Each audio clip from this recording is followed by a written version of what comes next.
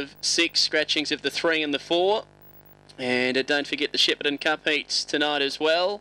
Final of that next Saturday as well as the Group 1 maturity. Race 10, they're all in. Green light, favourite box 2. Set.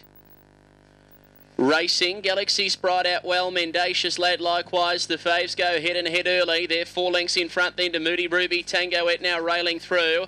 Uh, improving now well back Moody Ruby, Smiley binds Ollie Agira. Well, Mendacious Lad found the lead, turned about two in front. Galaxy Sprite running on, but Mendacious Lad back to back. Mendacious Lad a length and a half Galaxy Sprite, two lengths away third Tango Et, and they were being followed a photo fourth Ollie Agira, Smiley binds Moody Ruby. They all were there for that uh, fourth dividend, and they went crashing into the pen. The run here around about 1851.